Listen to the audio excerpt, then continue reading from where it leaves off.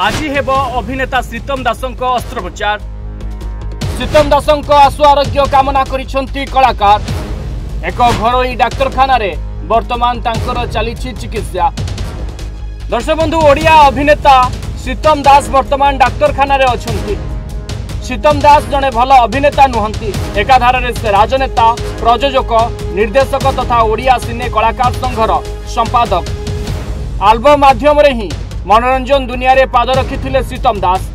ଶ୍ରୀତମ ଦାସଙ୍କର ଏକ ଗୀତ ସେତେବେଳେ ଖୁବ୍ ଭାଇରାଲ ହୋଇଥିଲା। ତୁ ଚାଲୁଥିଲୁ ତୋ ବାଟରେ ମୁଁ ଚାଲୁଥିଲି ମୋ ବାଟରେ।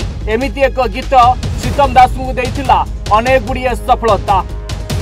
ଆଉ ଆଜି ଯେତେବେଳେ ଶ୍ରୀତମ ଦାସ ଏକ ଘରୋଇ ଡାକ୍ତରଖାନାରେ ଚିକିତ୍ସିତ ହେଉଛନ୍ତି ଠିକ୍ ସେତିକି ବେଳେ ଶ୍ରୀତମ ଦାସଙ୍କ ଆଶୁ ଆରୋଗ୍ୟ କାମନା କରିଛନ୍ତି ସମସ୍ତ କଳାକାର ଓ ସିନେ ତଥା ଶ୍ରୀତମ ପ୍ରେମୀ। ଦର୍ଶକ ବନ୍ଧୁ ଏଠି କହି ରଖିବା ପାଇଁ ଚାହିଁବୁ ଘୋଡ଼ାରୁ ପଡ଼ି ଶ୍ରୀତମ ଦାସ ଆହତ ହୋଇଛନ୍ତି। ଓଡ଼ିଆ ଫିଲ୍ମ ନବକଳବରର ସୁଟିଂ ଚାଲିଥିଲା ଆଉ ସୁଟିଂ ସେଟ୍ରେ ହିଁ ଆହତ ହୋଇଥିଲେ ଶ୍ରୀତମ ଦାସ। ଶ୍ରୀତମ ଦାସ ଆହତ ହୋଇ ଭୁବନେଶ୍ୱର ଲୁଇସ୍ ରୋଡ୍ ସ୍ଥିତ ଏକ ଘରୋଇ ଡାକ୍ତରଖାନାରେ ଚିକିତ୍ସିତ ହେଉଛନ୍ତି। ତାଙ୍କ ଡାହାଣ ହାତରେ ଗୁରୁତର ଆଘାତ ଲାଗିଛି। ଆଉ ଆଜି ତାଙ୍କର ଅସ୍ତ୍ରୋପଚାର ହେବାର ଅଛି ଯାହା ଏକ ବିଶେଷ ସୂତ୍ରରୁ ଖବର ମିଳିଛି। ନବକଳବରରେ ଶ୍ରୀତମ ମୁକୁନ୍ଦ ଦେବ ଚରିତ୍ରରେ ଅଭିନୟ କରୁଛନ୍ତି। ଏଥିରେ ସେ ଏକ ଧଳା ଘୋଡ଼ାରେ ବସି ସୁଟିଂ କରୁଥିଲେ।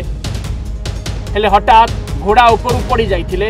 ଘୋଡ଼ା ଉପରୁ ପଡ଼ିଯିବା ପରେ ସେ ଗୁରୁତର ଆହତ ହୋଇଥିବା ସୂଚନା ମିଳିଛି। ମାତ୍ର ସେ ଡାକ୍ତରଖାନାରେ ଥିବାରୁ ତାଙ୍କ ସହ ଯୋଗାଯୋଗ ହୋଇପାରି ନାହିଁ ବିଳମ୍ବିତ ରାତିରେ ଯାହା ଖବର ଆସିଛି ঘোড়ারু পড়ি আহত হয়েছে বেড়ে তাঁর ডাহাণ হাতরে গভীর আঘাত লাগিছি বর্তমান সে এক ঘর ডাক্তারখানার চিকিৎসিত হচ্ছেন এবং আজ তাঁর অস্ত্রোপচার হবার অপাই শীতম দাসঙ্ক আশু আরোগ্য কামনা করেছেন সমস্ত কলাকার সিনে তথা শীতম প্রেমী রিপোর্ট ওড়শা ভাস্কর